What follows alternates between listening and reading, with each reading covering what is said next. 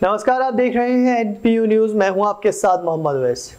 जसपुर क्षेत्र के अंतर्गत पेट्रोल पंप से मिल रही शिकायत पर राजस्व विभाग की टीम, सप्लाई विभाग और बारतोल विभाग की टीम ने क्षेत्र के तीन पेट्रोल पंपों पर छापेमारी की और जाँच के लिए सभी का सैंपल भेजा गया।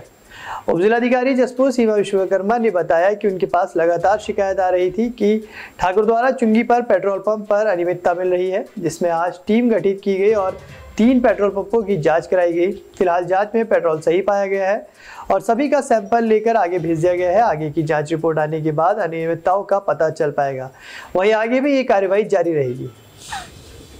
फ़ोन में एक शिकायत आई थी कि जिसमें ये बताया गया था कि ठाकुर द्वारा वाले पेट्रोल पंप में थोड़ी सी अनियमितता मिल रही है। तो इसी, उसमें एक यहाँ पर टीम का गठन किया गया था जिसमें कि राजस्व विभाग से तहसीलदार और सप्लाई डिपार्टमेंट से सप्लाई इंस्पेक्टर हो गए और उसके साथ साथ बारतौल विभाग के कर्मचारी वहाँ पर मौके पर गए हुए थे और उन्होंने तीन पेट्रोल पंप की जाँच की थी जिसमें कि किशनपुर, खेड़ा लक्ष्मीपुर और जसपुर के पेट्रोल पंप थे।